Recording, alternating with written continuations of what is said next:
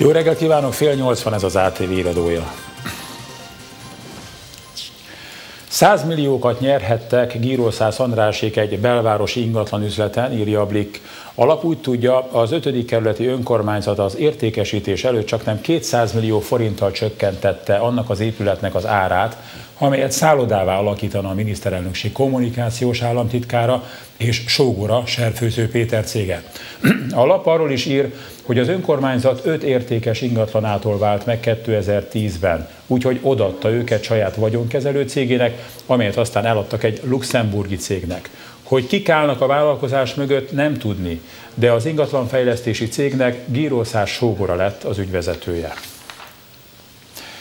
Távozik posztjáról Kovácsis István, a Nemzeti Adó és Vámhivatal vám és pénzügyőri elnök helyettese, értesült a hvg.hu. A híroldal több neve elhallgatását kérő forrása arról számolt be, hogy kör e-mailt kaptak a navon belül Kovácsics távozásáról. A levélben az áll, hogy az elnök helyettes január végén felmondás idejének letelte után válik meg hivatalától.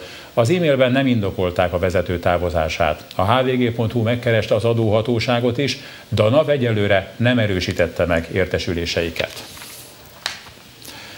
Több magyar üzletember és kormánytisztviselő amerikai bankszámláit befagyaszthatják a közeljövőben. Ezen felül üzleti érdekeltségeiket is átvizsgálhatják, értesült a Magyar Narancs.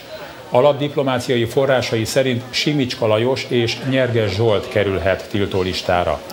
Közben a figyelő úgy tudja, hogy egy olyan kormányzati előterjesztés készül, amely szerint indoklás nélkül tiltólistára helyezhetnének amerikai állampolgárokat.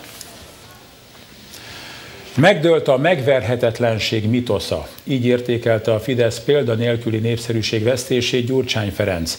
A tárki felmérése szerint egyetlen hónap alatt harmadával csökkent a kormánypártok támogatóinak száma. A volt miniszterelnök szerint ez azt mutatja, hogy az emberek ma már elhiszik, hogy leváltható a kormány. A DK elnöke úgy véli, megtörtént, ami korábban elképzelhetetlen volt, a Fidesz elvesztette az irányt, és úgy tűnik, nem is nagyon fogja megtalálni.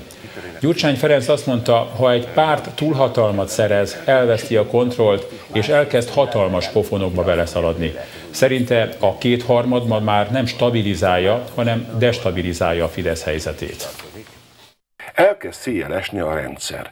Amikor túl nagy lesz egy párt és állampártként kezd el viselkedni, ez történik a fidesz akkor az ellenfelek egyre inkább belül vannak és nem kívül, elkezdik feszíteni az abroncsokat. Egymást falják föl? Egymást falják fel a forradalom korábbi győzői, sem a litván miniszterelnök, sem a litván államfő nem kívánt szóba állni Orbán Viktorral Vilniusban, ahol a magyar kormányfő megtekintett egy díszfelvonulást.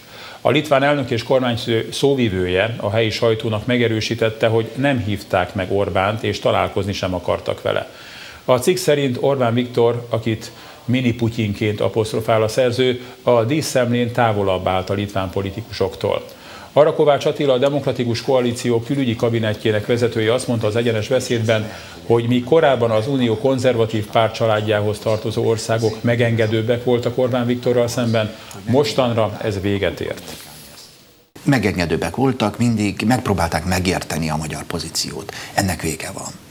És erre egyetlen magyarázat van, tehát nem a magyar belpolitika, nem az, ahogy Magyarország eh, Brüsszelhez vagy Washingtonhoz viszonyul, hanem ahogy Moszkvához viszonyul, illetve az ukrán válsághoz.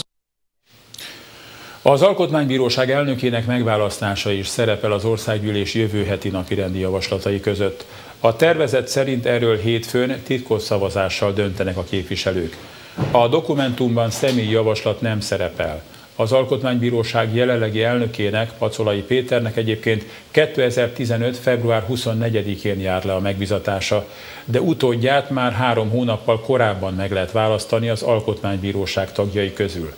Az elnökjelöltről az összes országgyűlési képviselő kétharmadának szavazatával, azaz jelenleg legalább 132 igen szavazattal dönt a parlament, mandátuma 12 évre szól.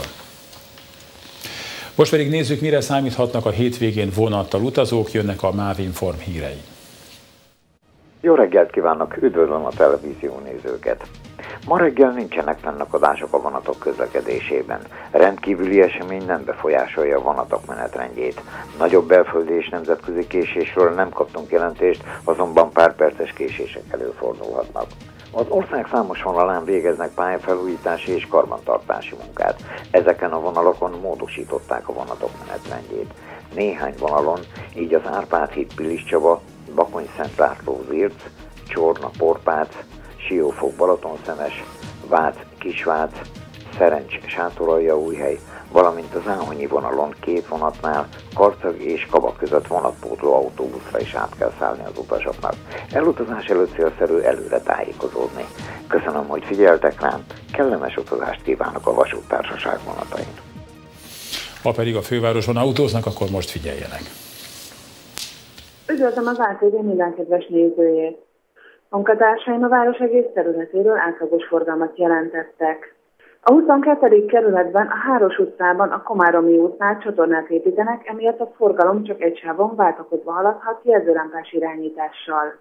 Tilos megállni a belváros Zoltán utcában, a Nádor utca és a Szabadságtér között a tárvával kijelölt helyeken ma este 8 óráig demonstráció miatt. Rákosfalta és Újpest határán a Szerencs utcai vasútátjárót lezárták felújítás miatt, illetve az Elem utcát egy szakaszon közmérítés miatt. Kerülni az Árpád felüljáró felé lehet. A Hungária körút Kerepesi csomópontban felújítják az útburkolatot, emiatt úttükre kell számítani. A Zsigmond téren, a Lajos utca és a Bécsi út között a fél útpályát lezárták az Árpád fejlelem útja felé vezető oldalon, irányokként csak egy sáv járható. Budán, a 11. kerületben, a Tétényi úton a Bartók Béla út előtt lezárták a belső sávot egy szakaszon, így a Karolina út felé csak egy sávban lehet haladni. Köszönöm a figyelmüket, további kellemes napot és balesetmentes közlekedést kívánok. Viszontlátásra!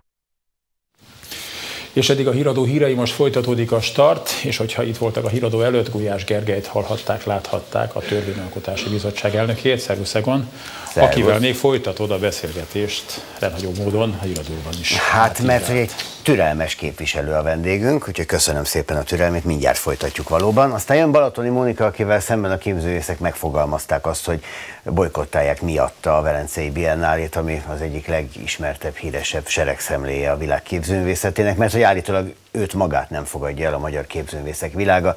Balatoni Monika lehet, hogy ezt másképp gondolja, majd meghallgatjuk, hogy hogyan. És jön Zamesnik Péter, az ismert ügyvéd, aki az ATV egy másik műsorában megemlítette ilyen félmondat erejéig, hogy szerinte Vida Ildikó a NAV elnöke simán perelhetni az Egyesült Államokat, lenne jogalapja, és rengeteg pénzt lehetne ezzel keresnie.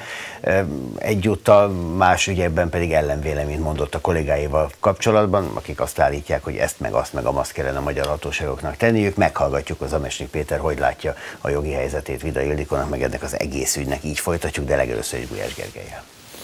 Köszönjük szépen, tartsanak velünk a következő órában is, fél kilenckor pedig még egy híradóval várom önöket, most tehát folytatódik a start. Köszönöm figyelmüket, viszontlátásra!